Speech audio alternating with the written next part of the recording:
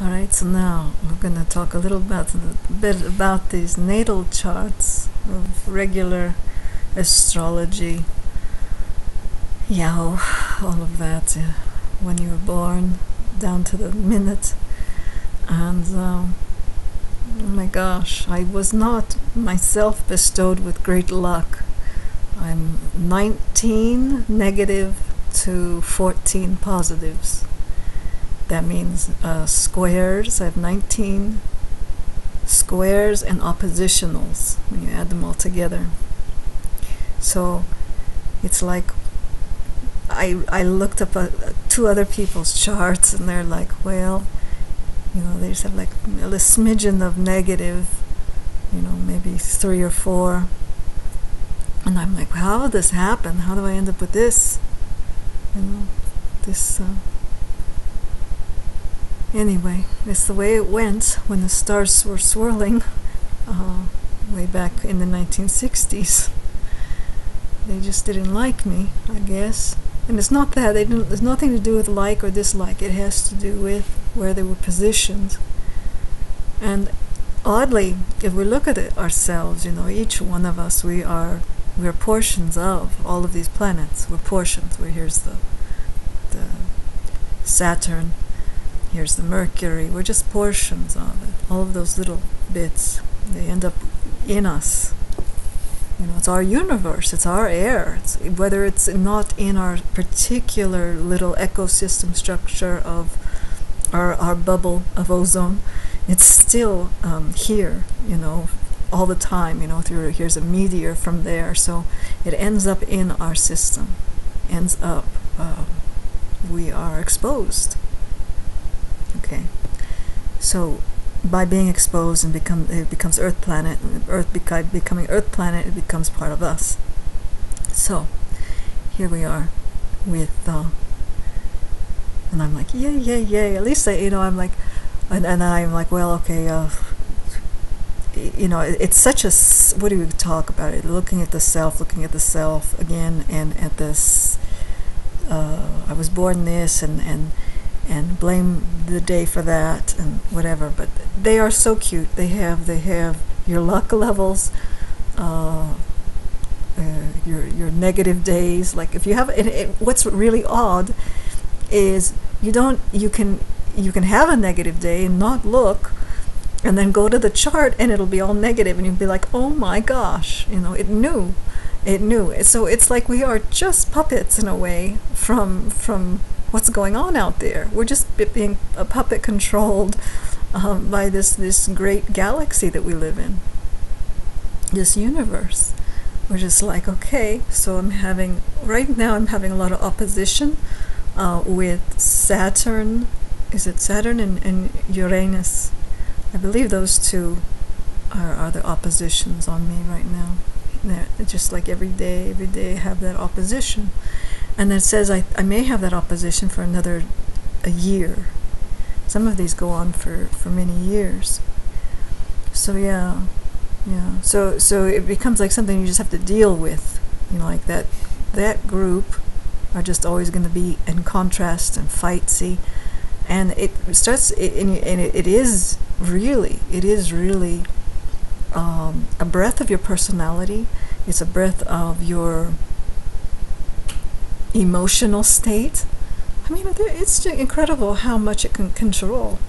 Uh, I I'm like just the other day I'm like I just can't get up. I cannot wake up. I can't get up. I'm just like it was like a big weight pushing me down, and I'm like, well, this big weight pushing me down, and I look at it and I'm like, oh, it's Jupiter. Apparently, it was Jupiter's day. Uh, it was having a big uh, event, uh, on my chart, and there it was, and it was forcing me to not even be able to to move. It was literally a push, a pusher, like you're not allowed to. So there's all kinds of, of these planets that are just controllers. They're controlling us, and as I know, it seems like odd because you can say, "Well, the planets did it. The planet, I have no uh, control over my life. The planets are in control of me."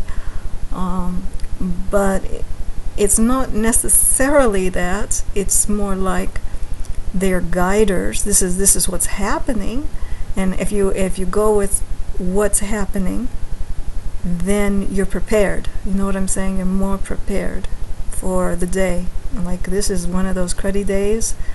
Okay, so and I'm probably gonna have a really bad attitude and I can't get out of it. So if it's gonna be one of those types of days, avoid, you know, I mean we're smart enough as human beings, we can avoid certain things and avoid certain places. Um, you know, and uh, or wherever you're going that could be this conflict place. Uh, you take take uh, that on board. That hey, it's going to be a conflict conflict place, and so I better really, really tighten the reins on myself. Tighten the reins so I am not out of control ever. You know what I mean? So so it gives you a um, what do you call it? Like like a, like um, you're a trainer. Use it like a trainer, a training guide. You know, you know, you have the dogs who have the lead, and they're trained. You use it as a trainer guide, uh, because you have a possibility to outlash in that location. Uh, uh, if you go go here, go there, um, you have a possibility of just being. Uh, like I don't want to just talk about being jerks and all of that, but there's other things, you know uh, you know, being stuck in a contemplative state. You're, if you're stuck in a contemplative state, if you have like a thousand on your chart one day, and everything else is just like in a hundred hundred zone, uh, you're just going to be like, forget it. Just sit down and write a book or think about something. You're contemplative. You can't do anything else. You know, there's no way you can't get up and and start running a marathon when you're in a contemplative state it's impossible. It's just impossible. So you're fighting. You, you would end up fighting. Essentially, you're fighting the planets. And when you start fighting the planets, that would be a stupid person, I think. Because they are so much energy and so much force. Impossible. One human being cannot fight the planets. You know, there's so much energy. You know, this one moving this way, this one moving that way, you know. And all of these being parts of us, you know, they're just like little miniature controllers. No, they're not miniature. We're the miniatures. They're the big controllers. You know, we like to think of ourselves as the big controllers, but they really are uh, capable uh, of of going there and and just taking our taking our uh, our energy, taking our energy in one direction or another. Okay, so this is difficult because in our day and age, we are like, okay, you're set up to do one thing, one set of tasks. This is your work, or this is your job. And maybe it's okay for a certain time frame, and you find out that that's really great. But then after a while, it's like, wait a minute, it's too much activity. I can't handle it. And maybe that has nothing to do with you, don't you get it? It's to do with the stars themselves. The stars themselves said you could handle that much activity at that time, and they were giving you that energy space. But then after after a while, that energy space just left you. You don't have it anymore to give. So that's what's difficult is is is the balance in this world with these humans and their demands uh, with what is actually nature itself. Nature itself is giving you this delivery. You know, you're supposed to go with that flow. You know what I mean? That is the flow. And when you're ending up with, no, I signed up to school work. I have to do school. I have to go to uh, trainings. I had to have to do this, and I have a schedule. When you sign yourself up to that type of a life, and the planets are saying, "Ah, oh, you're going to do what I I say." You know, the planets are are doing their thing, going, "Well, yeah, we'll let you do that for a while. We'll let you do this for a while." They're going to readjust you. The planets are going to readjust you. So, if we use the whole whole thing as like I was saying, just like just like a training a training tool for for your day. Like hey, this is a day to stay home. This is a day not to stay home. This is a day to, to do be. Uh, you know, I, I wish in a way eh, the the readings were a little bit, um, um, you know, more telling. But I guess that's why they have all these astrologists. Yeah, but uh, yeah, when you start to learn that that certain things are going to be, you know, in orbit, doing that activity longer, you know, that's very pertinent. Uh, some of some things are maybe only going on for one week or just a few days. Uh, but when you have certain things going on for months and months and months and months at a time, that's the way to make your schedule. You know, that's the way to make your schedule for. You know that's going to be going on. That's going to be your personal energy, your personal space in that direction. So you can readjust. Because if it's a bad one, if it's a bad you know, a bad energy time, you can readjust, you know. So so you don't put yourself in situations that are, are worse, you know. So anyway, it's thrilling. it's thrilling, but uh, yeah. And I'm I'm still very confused by the whole thing because know, there it is. I'm I'm born, and then it says I'm the sun in in Libra, and I'm like, well, the sun. That's. But then I look up all these other people, and they look like they're the sun in their sign. So I'm still not not not an expert on it. I believe once I do become an expert on it, it I will know more about the orbitals of of those relations. They're, I believe they're the most important because they're the time frames that we are fixed with. You know, if you're fixed with the time frame of Saturn, what is going on with uh, Uranus, you're fixed at that, that schedule. If you're fixed with, with Mars, uh, uh, heavily uh, doing something else to Neptune, for example. And I don't think that could have happened because I think Neptune is something that is, is real quick and goes. So I think I think we're, we're talking about the real heavy ones. I did learn this. The real heavy ones are on the outer realm.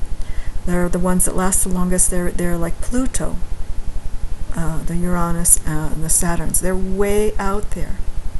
Anything that's furthest away from the sun uh, they have a longer stay and hold pattern. Whereas the little tinies like the Mercury, um, well, actually, Neptune, I'm sorry, Neptune's way out there also. Uh, but the little tiny ones like, uh, like Mercury, that one, or Venus, they're flippant. They're just like here, they are gone. And, you know, they're just short thoughts short interim thoughts of, of your day uh, of, as a controller. They're not going to be like, hey, this is every day I'm waking up and I'm just in sour mood, you know, and I'm just having a sour life, um, a sour this, or, or, you know, things are not going right. So, yeah, very, very, very cool, actually. It's very wonderful. Because in a way, it's like uh, taking hold of, of yourself and your actions or your your you know before you even open your mouth with someone start talking. You know it's just like wait a minute. I know what my planets are up to. You know my planets are saying uh-uh. Or my planets are saying go for it. You're a really good conversationalist today you know. Uh, but yeah be careful. Just be careful because um, yeah, you know, it's not like you're going to say, well, I don't want to really talk to you unless you know your planets also. But it, it, but it does start to be like, well, wait a minute, maybe I don't. Maybe I don't want to talk to you unless you know all your planets. Um, you know, as a safety. but yeah, that that's gets silly. But yeah, um, today is uh, the day of the water snake. Yesterday was the day of the water dragon. Um, and uh, so yeah. That's just fun. Gosh dang it. Just fun. Anyway, um, off to where am I now? Uh, yeah, so that was my my score. 19. I was born with 19 uh, oppositions and squares, and I was uh, in 14 trines, sextants, and uh, conjunctions. So yeah, you're looking at trouble. yeah.